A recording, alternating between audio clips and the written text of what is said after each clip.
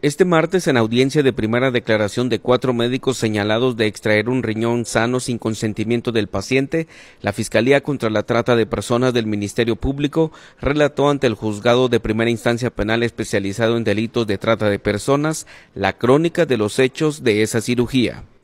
Una paciente programó en un hospital reconocido de zona 14 de la capital una operación para retirar una glándula suprarrenal cancerígena. Según los antecedentes médicos, esa formación irregular cercana al riñón estaba generando constantes infecciones urinarias a la paciente y se programó la cirugía para el 24 de febrero de 2022. A las tres horas, en la madrugada de ese día, tres médicos estaban en la sala de operaciones. Danicho Cojcoy, Mario René Bolaños Porras y Ángel David Valdés Vargas.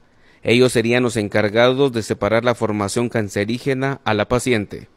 El Ministerio Público en allanamientos confiscó los teléfonos celulares de los indicados y encontró conversaciones en una red social del médico Chocoscoy y su colega Bolaños Porras.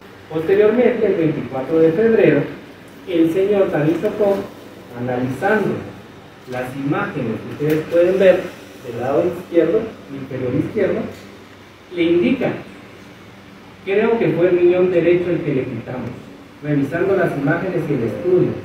No quise decir nada en la sala porque la gente hace muy rápido. Habrá que esperar la patología y darle plan educacional. Hablamos cuando te desocupes. En ese chat, Chocoscoy admite que se equivocaron en la cirugía y retiraron un riñón sano y no la glándula suprarrenal. Días después, la familia de la paciente a la que se le retiró el riñón empezó a cuestionar el caso hasta que confirma que la glándula cancerígena no fue retirada, solo el órgano renal.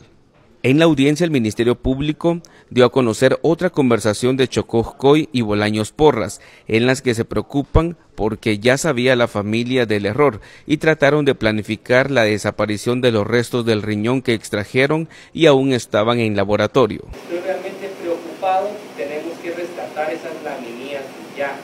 Hay que pedirlas ya que son la única prueba física de que era riñón. El informe sin laminías es solo una hoja de papel hay que ver cómo la rescatamos para ver todas las funciones. En audiencia se mostró la fotografía del riñón que se extrajo. En la sesión, este martes, Chocoscoy y Bolaños Porras se abstuvieron de declarar. Frente al juez solo pasaron Ángel David Valdés, quien dijo que su participación era solo para casos de emergencia, pero estaba adentro de la sala, mientras que Orlando Rodas Pernillo explicó que solo hizo análisis patológicos del caso. Con imágenes de María José Bonilla, reportó Edwin Pitán.